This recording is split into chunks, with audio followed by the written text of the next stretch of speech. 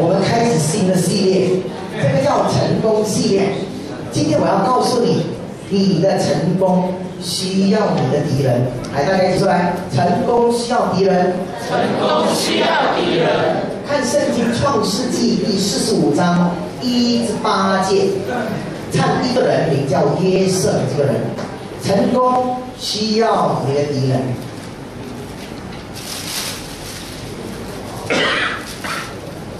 创世纪第四十五章一至八节，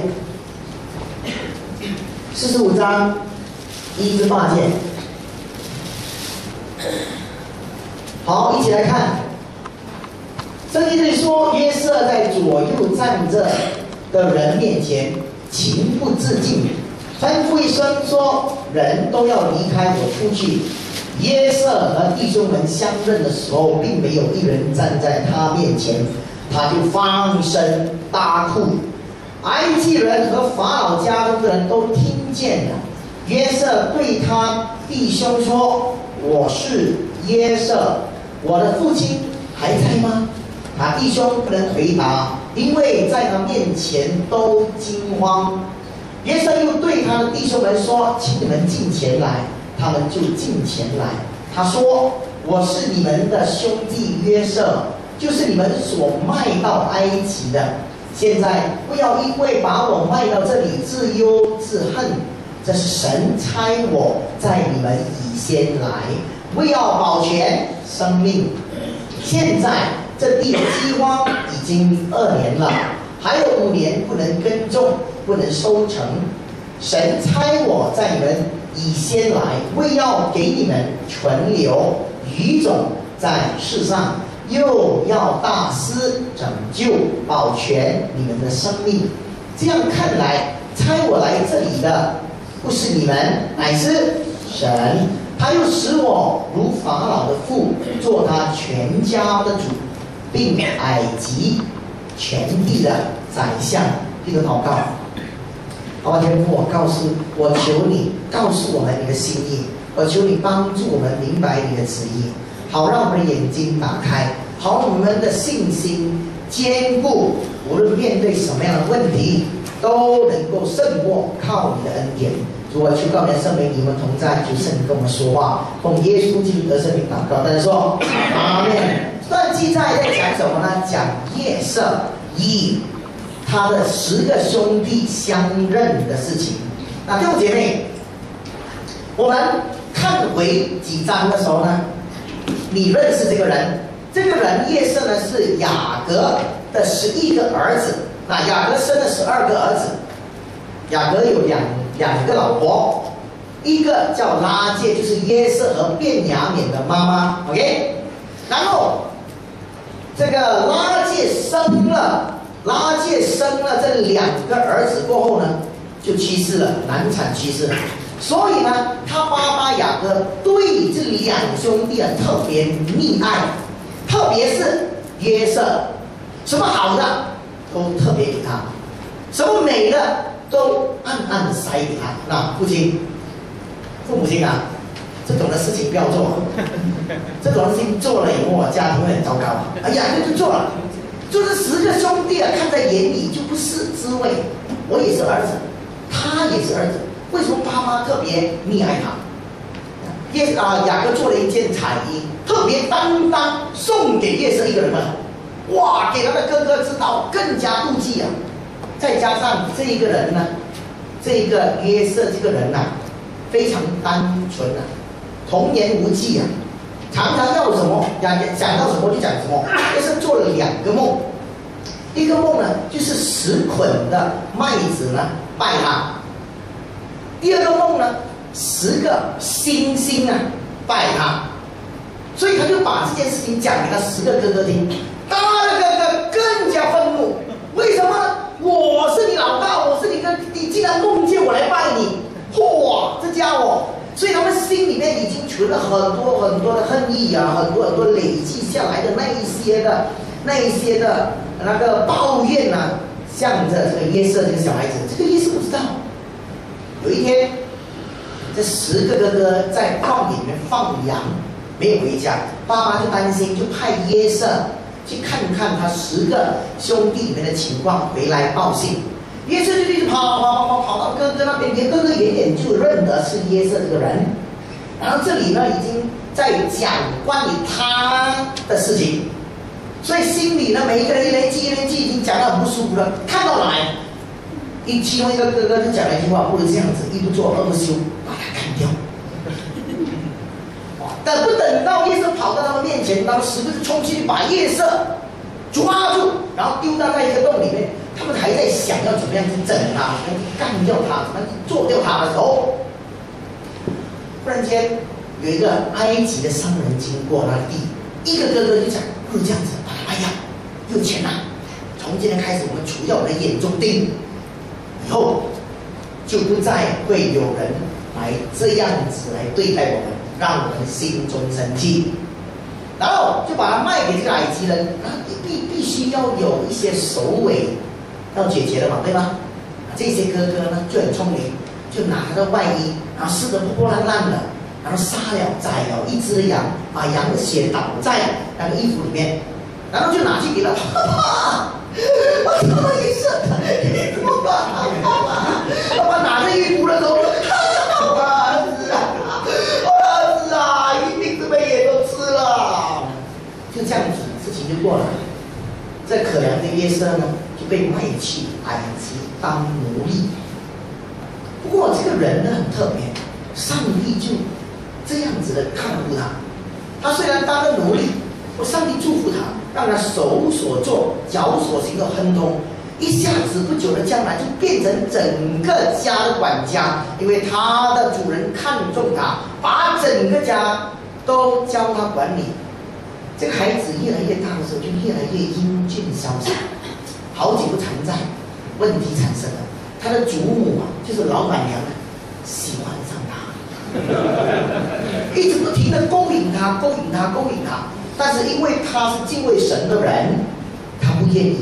到有一天，他的老板已经是欲火攻心，忍受不住了，叫他来房间，硬硬扯他。但是呢，这个夜色呢，因为敬畏神，所以呢，就拔腿就跑。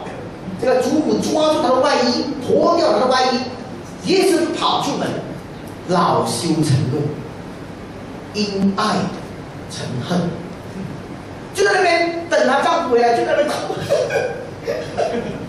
老公，你看，你的仆人耶色他的衣服在我房间，你看他对我做了什么事情？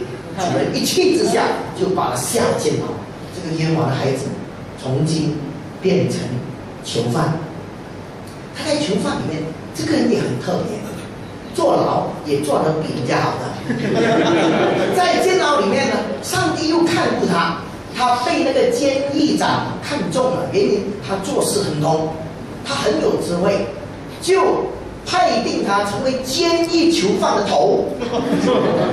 OK，然后就在那边照顾啊、点滴啊、打理呀、大笑。有一天。就两个人进来进监牢，一个是法老王的酒政，就是红酒给法老王喝的；一个是法老王的厨师。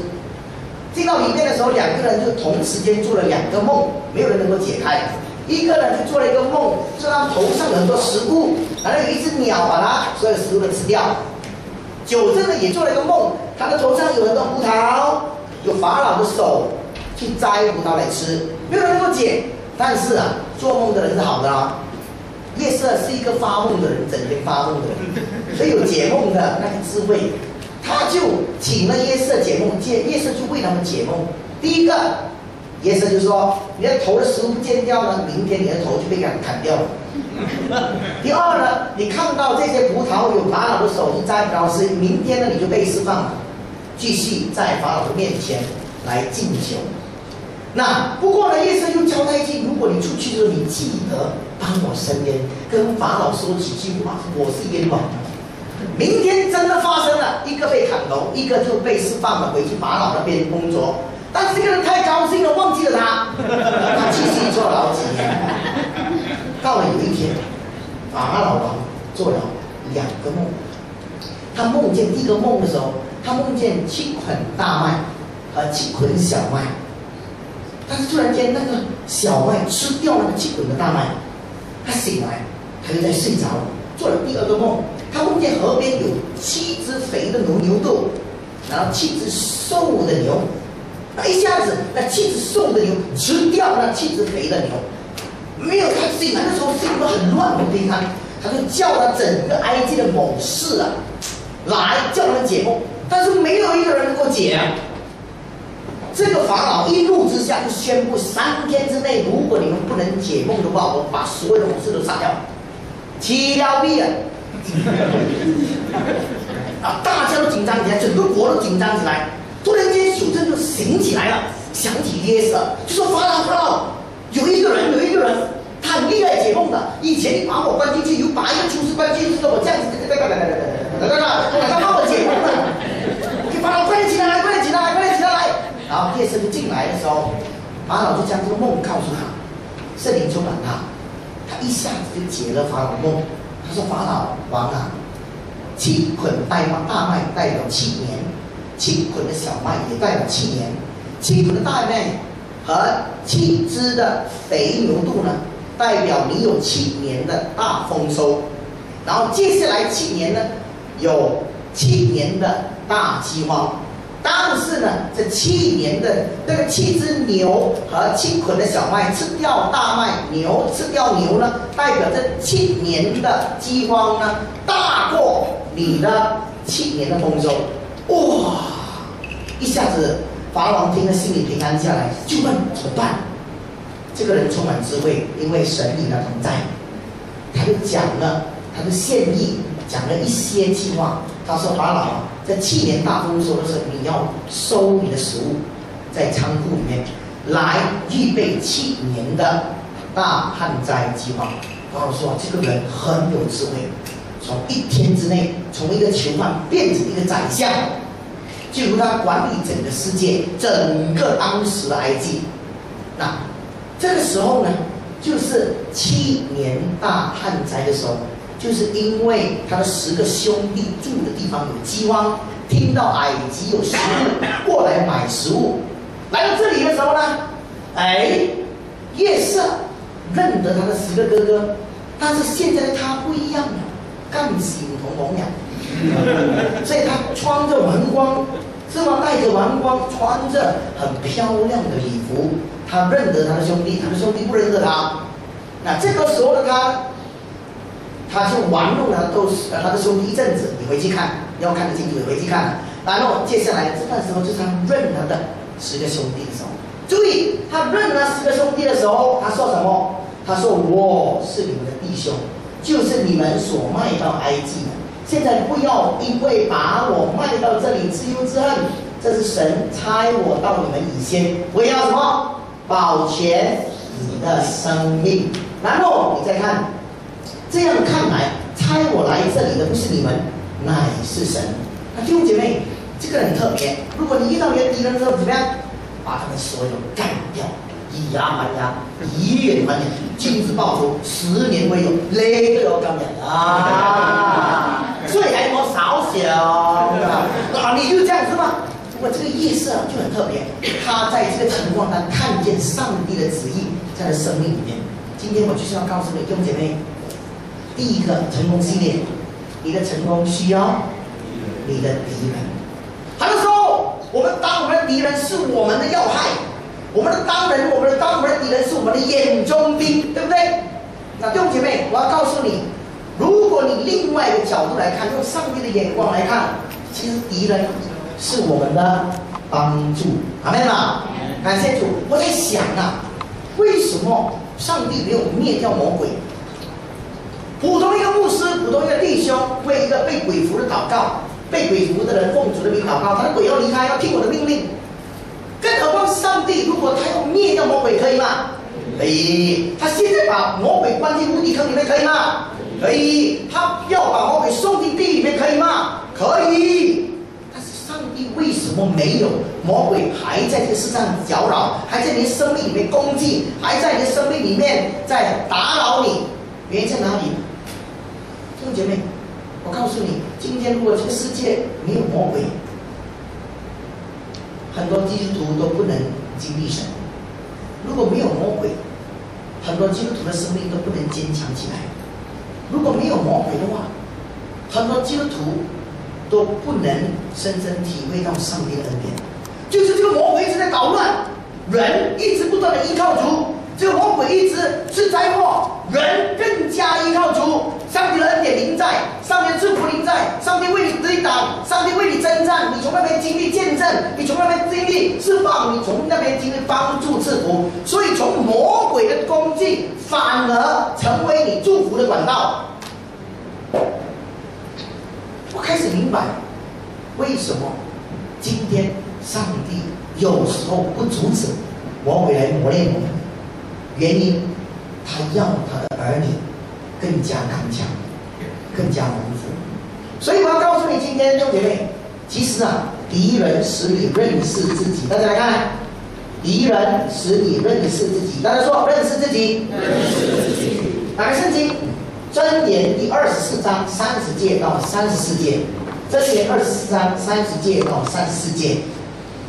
Proverbs chapter four, verse thirty to thirty-four. 圣经这里说：“我经过懒惰人的田地，无知人的葡萄园，经济长满了地皮，吃草遮盖了田面，石墙也倒塌了。我看见就留心思想，我看见就领了训名。在碎片时打盹片时，抱着手躺卧片时，你的贫穷就必如强盗速来，你的。”缺乏防腐拿兵器的人来到，段经文在说什么呢？在说有一个人看到一个懒惰人的田地，什么？而葡萄园长满了荆棘、吃草，然后石墙都倒倒塌，一塌糊涂的田地，就使这个人呢，因着这个人另外一个懒惰的人得到一些的启示和教训。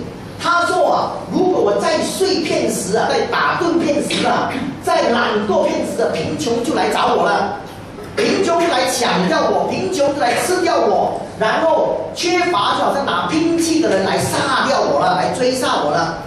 那弟兄姐妹，圣经在告诉我，原来我们看着人会得到启示的。看着人会明白一些真理的，看着人会得到一些教训的。其实敌人什么呢？敌人就好像一面的镜子，其实让我们看到我们自己。你相信吗？就是他一直在找你的破口，一直在找你的碎眼，一直在后面动你规则，更着急，所以你才能够感觉到原来你有缺乏的，你有缺点的，为什么可以动得到呢？就是你有动才能动得到啊，对吗？你没有动呢，你怎么样穿得到呢？穿不到的。所以你如果看得清楚的话，你自己来看的话，你改变的话，你是不是更加认识自己啊？更加明白自己啊？有一个哲学家讲了一句这样子的话，你听一听啊。他说：“称赞我的人，玩弄我像驴子；只有我的敌人告诉我，我是真正的驴子。”明白这句话吗？称赞我的人，你很漂亮。其实我不漂亮，我是女子。OK，你很厉害，很有力，我就帮他们干干东西喽。你跳得很美，我就跳给他们看。你是好的女子，他这样称赞我，当我女子这样玩弄，但是我的敌人呢，在嫌我，你是一个笨蛋女子，没有用。固执，不美。你是梨子，你知道吗？你好像你，真正是梨，你知道吗？其实敌人告诉我的就是真话。那弟兄姐妹，忠言逆耳。好多时候我们得到外在来的攻击、批评，或者得到人家对我们的闲言闲语，那弟兄姐妹，我们通常选择拒绝，选择反抗，或者选择自卫 （defend）。或者选择什么攻回去，对吗？啊，弟兄姐妹，他的时候我们来想一想，当我们的敌人有话说的时候，是不是说中？如果说中了，我们是不是继续在犯错？如果我们敌人说了说中的话，我们可以反省的话，其实他的阻力会成为我们的助力，他的攻击会成为我们的祝福。阿门。我曾经有一个弟兄啊，为了他的女朋友的妈妈的一句话，说你不用，今天他成为成功人士。我曾经啊，回来恩典堂的时候，曾经有人告诉我，我要看你做得起吗？就一句话，使我一直要睡觉的时候，我想到有人这样子说，上帝有同在，一定要做起来。他们的话语成了我的能力啊，弟兄姐妹，很多时候我们怎么样看我们的敌人？我告诉你，你不能要求啊，所有人都喜欢你的，阿妹这个世上哪里有所有人都喜欢你的？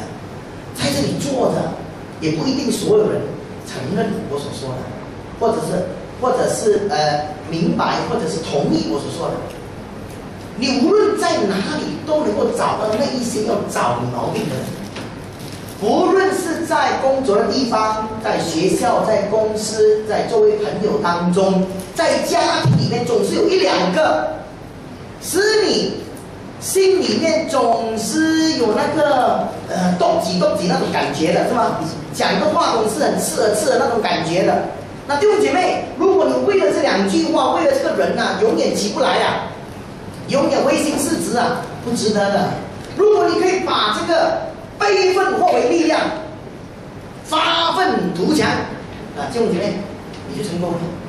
他们当成一面你的镜子，使你认识你自己，你就成功了。所以弟兄姐妹，当批评来的时候，你要感谢他。反而你要感谢你的敌人，让你认识你自己，使你更加强。阿妹吗？所以我告诉你，其实我们不必逃避敌人，也不必怕敌人，反而让他成为一面镜子，让我们认识我们自己。成功就在前面。阿妹吗？我们来看第二，大家说敌人使你改变自己。罗马书第八章二十三节，Romans chapter eight verse three。罗马书第八章二十三节这里说，我们晓得万事互相效力，叫爱神的人得益处，就是按着他的旨意被招的。这句话是保罗说的。保罗说这句话的时候，不是随口说说而已，他是他生命的经历的。他一生人经历什么呢？所以他遇到很多的困难，他甚至为主的缘故被下入监牢里面，被疼打四十鞭，少一鞭三十九鞭。他曾经在传福音意见船难，漂浮在这个海边三十天。他甚至被假弟兄教为假假弟兄，他付出爱心，到头来害他。他甚至遇到假的教师，当他教对东西的时候，教会有假的教师来影响，使到教会的弟兄姐妹偏离真道。他心里面曾经受过极大的伤害，然后他经历极大的痛苦，但是到最后他却讲了一句话，他说：“原来啊，我知道万事互相效力，这一些事情发生的都互相配合的，都互相来相补的。”叫什么呢？叫这个爱神的人，就是爱主的人，就是我弟兄姐妹你呀。这些爱主的人得到什么益处？他一直在告诉我们，我们身上所发生的点滴，无论好坏都没有关系。到最后呢，是叫我得益处的。弟兄姐妹，你要相信耶稣爱你，阿妹，天父爱你，他不会给你不好的东西的，阿妹。所以你要相信。所有发生在我们生命里面，到头来，到未来，最终你会看到，原来全部都对我好，全部都对我有益的，使我的生命更加坚固的。所以不要怕你的敌人，弟兄姐妹，敌人其实如果他批评你，如果他攻击你，如果他胜过你，啊，弟兄姐妹，你要坚强起来。改变自己，使你可以胜过他的时候，你就比以前更强。有一个弟兄找我祷告，牧师啊，我遇到我的公婆弟的很难啊，而且我问他，你感觉到怎么样？很辛苦？我做什么他做什么，我减了他减，我加了他又加了，总之要跟我反应，要做到我死了。我就问他一句话：你现在你要做什么？他说我要求祷告，求主除掉我的敌人。我就告诉他说：我的弟兄啊，为什么你不要用另外一个角度想？如果这个敌人能够攻破你，证明说你输他，证明说还有一些事情你还缺乏不足够，无论经验啊，无论是货你的货品啊，什么都还不足够，倒不如你转一个角度，使它成为你的目标，改变，做出改变，祷告求神帮助你，给你策略，给你智慧，怎么样去胜过他。如果你可以真的胜过他的话，那我的弟兄，以后他就没有办法攻击。属灵界也是这样子。那弟兄姐妹，一个圣洁的人，在魔鬼面前是无可自在的。他想要攻你，他走来走去在你身边，不知道从哪里攻你。到最后他放弃了，他只能站在旁边看。为什么魔鬼可以攻击到你？为什么你可以生气？为什么你会伤心？为什么魔鬼会做到你伤心？就是你有地方给他可以做到伤心的。为什么你可以生气？你可以放弃？就是你有地方可以让他做到你生气，做到你放弃的。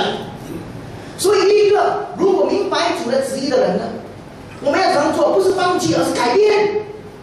改变使你自己更强，让你最软弱的地方更强，更加坚固。到一个程度，你补住你盖住你的破口，使魔鬼地方无懈可胜，无计可乘。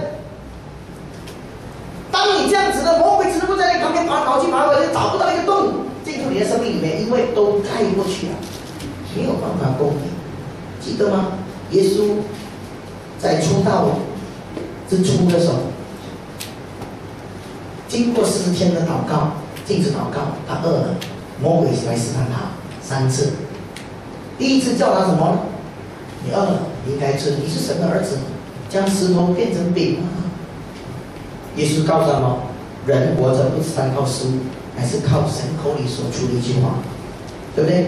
然后把他提到很高的地方，第二次他叫你跳下来。圣经里面说啊，天使会扶住你的脚的吗？耶稣告诉他，不可以试探我主你的神。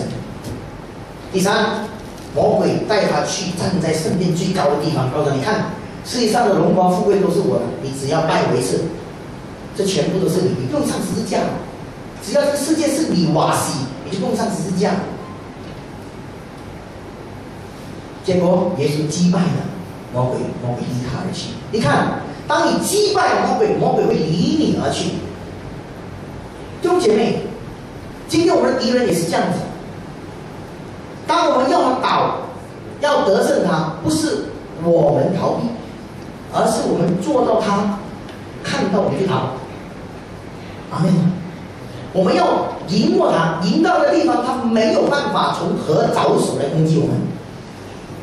当你真的成功的改变的时候，你就永远得胜。我的弟兄听了，他明白，对，今天他能够攻击我，这是因为我不足够。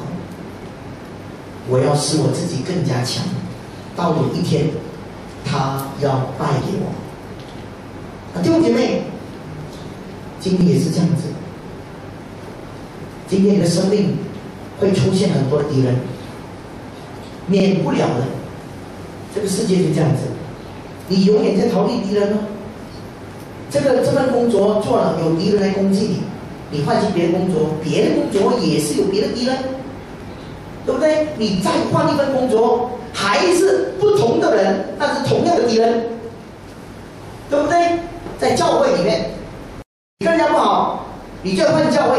我告诉你，去别人教会也是，虽然不一样的人，但是有同样的问题会产生。你在换教会，多少教会你可以换？我牧养教会，这教会很难牧养，我就走掉了。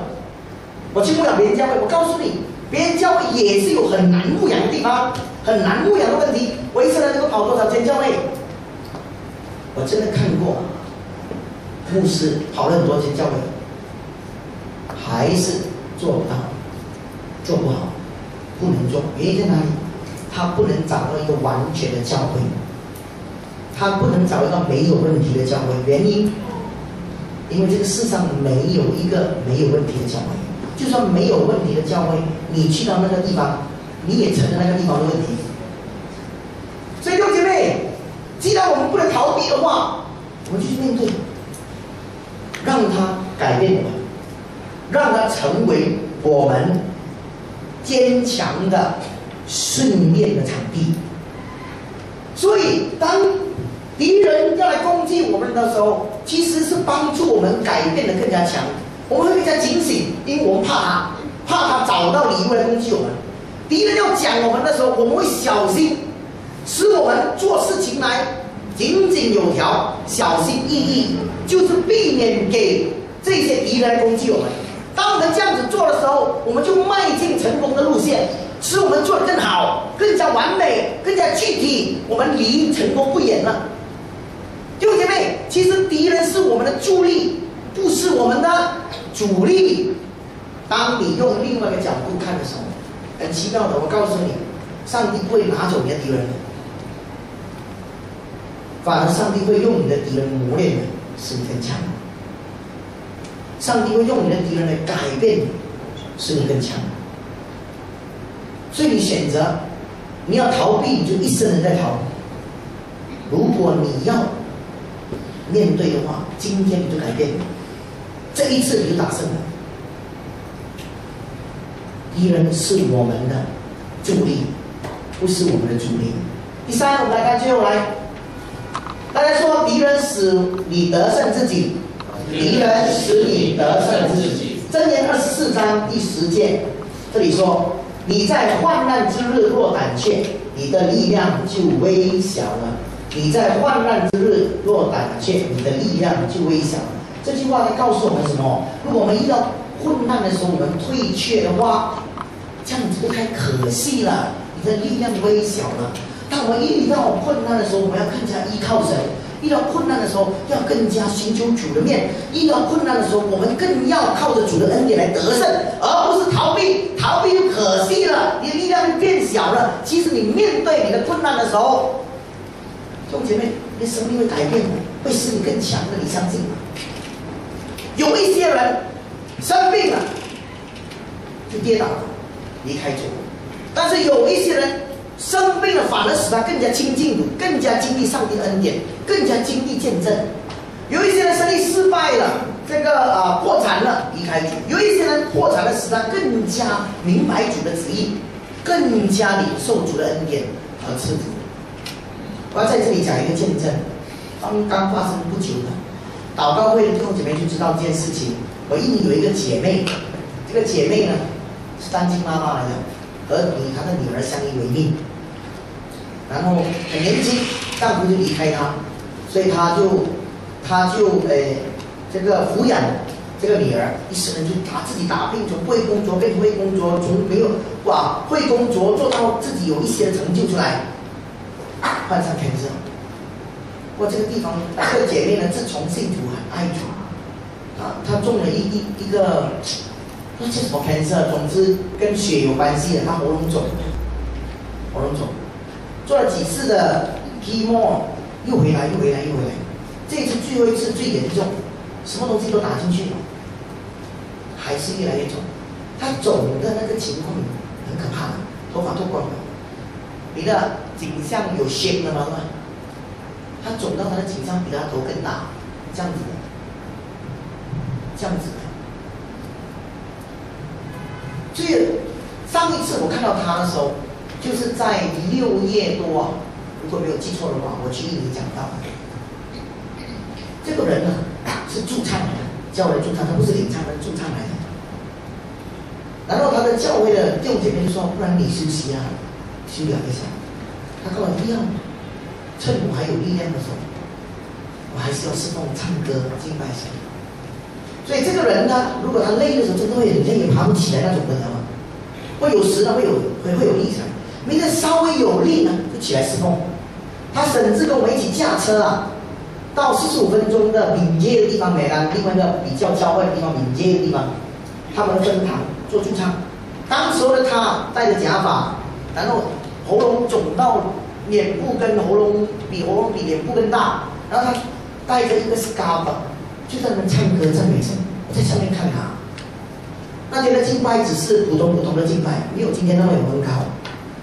但是我看到他，我流泪。我说，如果有一天我这样子的时候，我能在你的面前继续忠心向他吗？我在唱一声，唱一声。然后最后，最后就是上上个星期我去美兰讲道，看到他很高兴，哎，他的喉咙小去了。然后之前的时候我忘记讲一件事情，医生说不能了，你要去做彩蛋。什么是卵子蛋呢？是移植移植细胞 transplant，需要在新加坡做，要五百多千。哇，怎么做？啊，最后呢，那医生说，我打这一个药下去，不能就是不能。那我就为他祷告，并且为他祷告，每当就准备为他祷告。上个星期我去，我看到，哎，他的喉咙小去了。我说好啊你，他说好啊，我说小去了，我这个星期用在，我星期回来，他跟我回来，他就在帮我一讲。我回到家放他不到半个钟头啊，不到呃一个半钟头呢，他打电话过来，他说牧师啊，医生说我好了，完全好了，发现跟他电话对不对？我的心啊，感动了，我真的很感动，我感谢主，为他感谢主。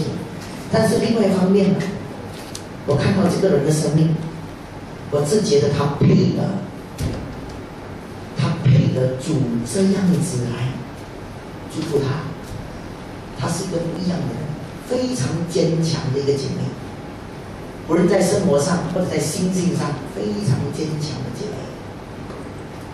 这个社会有不一样的人，在属灵的、属灵的我们的群体当中，有这样的人，越强越强，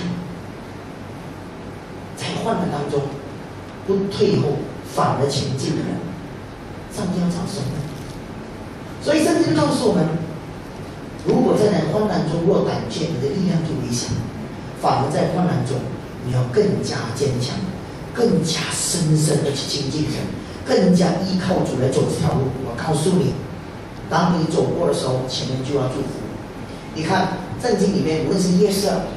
患难过后就是祝福，更大的祝福。越伯患难过后就是更大的祝福。大卫患难过后就是更大的祝福。这是应许，上帝一直不断的让他的儿女看到，每一个试验过后，每一个考试完后，一定有更大的祝福来到。阿门了。所以，就这边当我们经历最难的时候，就这边你要想到前面，前面有大的祝福，前面有大的蒙福的事情要来到我们的生我们的生命里面，所以坚持走多两步。走多两步就过了，继续依靠。那个时候，弟兄姐妹，我们的敌人不是我们的主力，反而是我们的助力。最后讲一个童话故事给你听，好不好？有一个皇帝生了一个女儿，独生女，长大了一定要嫁人，对吗？要找一个女婿。难道皇帝要找女婿，当然要找全城或者全国最好。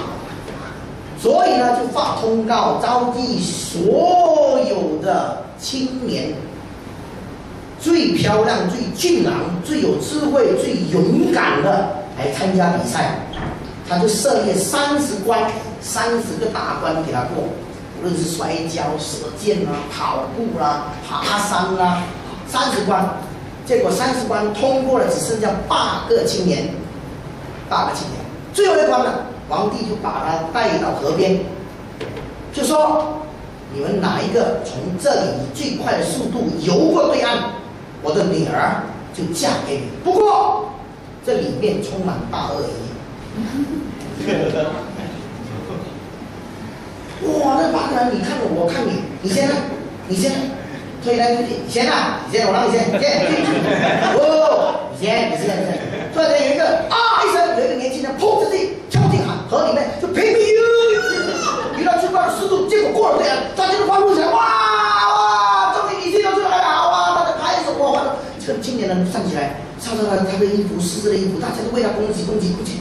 其中一个就问他，你真的很爱公主哦，竟然这不打了一整个跳下去。他说我不知道让哪一个人把我踢进去了。啊，我了。这这个人就成为皇帝的女性。弟兄姐妹，有时那个替你的人，是你的祝福呢。阿门。我们一起接着祷告，感谢主。我们一起来领